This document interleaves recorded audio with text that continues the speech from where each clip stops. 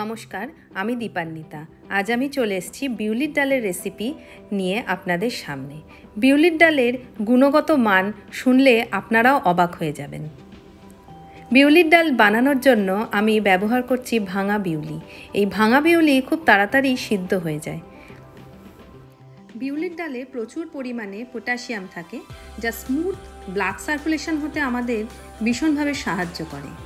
ডালটা আমি প্রেশার কুকারে দুটো সিটি দিয়ে নিয়েছি এবং সিটি দেওয়ার পরে এটাকে চেপে চেপে মেখে নিচ্ছি। এছাড়াও বিউলির ডালে প্রচুর পরিমাণে ম্যাগনেশিয়ামও থাকে। এছাড়াও বিউলির ডাল থেকে প্রচুর পরিমাণে ফাইবার পাওয়া যায়, যা কোলেস্টেরল লেভেলটাকে ঠিক রাখতে ভীষণভাবে সাহায্য করে। একটা প্যানে কিছুটা সর্ষের তেল গরম করতে দিয়ে সেই গরম তেলে দিয়ে দিলাম একটা তেজপাতা এবং ফোড়ন হিসাবে দিয়ে দিচ্ছি হিং। হিং কিন্তু আমাদের শরীরে স্ট্রেস রিলিফ হিসাবে ভীষণ ভালো কাজ করে। এবং হিংয়ের এই ফ্লেভারে বিউলির ডাল খেতেও কিন্তু খুবই সুস্বাদু লাগে। হিংটাকে তেলের মধ্যে দিয়ে কিছুক্ষণ ভেজে নিলেই খুব সুন্দর হিঙের একটি গন্ধ বেরোবে এবং দিয়ে দিলাম তাতে আদা বাটা।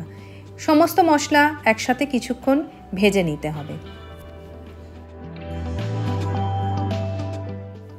মশলাটা খুব ভালো করে ভাজা হয়ে গেলে একটা সুন্দর গন্ধ বেরোবে। আমি এর মধ্যে সিদ্ধ করে রাখা বিউলির ডালটা ঢেলে দিলাম।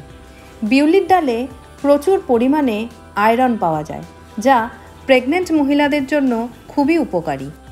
কারণ প্রেগনেন্সিতে আয়রনের চাহিদা অনেকটাই বেড়ে যায় এবং বিভিন্ন ডায়েটারি ইনটেক করেই এই চাহিদা পূরণ করতে হয়। তার জন্য বিউলির ডাল কিন্তু অপরিহার্য। আমি সামান্য হলুদ দিয়ে দিলাম। হলুদ দিয়ে কিছুক্ষণ ডালটাকে ভালো করে মিক্স করে নিলাম এবং এতে গরম জল দিয়ে দিলাম।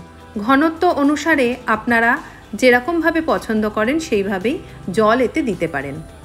আমি খুব বেশি জল দিইনি, একটু ঘনই ভালো লাগে বিউলির ডাল। সামান্য ফুটিয়ে নিয়ে তাতে আমি দিয়ে দিলাম পরিমাণ মতো নুন এবং একটু মিষ্টি মিষ্টি হওয়ার জন্য জ্যাগরি পাউডার। কিছুক্ষণ ফুটিয়ে নিলেই তৈরি হয়ে যাবে বিউলির ডাল। আমার এই রেসিপি এবং নিউট্রিশনাল টিপস যদি আপনাদের ভালো লাগে, আমার চ্যানেলটিকে একটি সাবস্ক্রাইব করবেন এবং প্লিজ লাইক এবং কমেন্ট করবেন। দেখা হবে অন্য কোনো রেসিপির সাথে। ততক্ষণ পর্যন্ত, টাটা।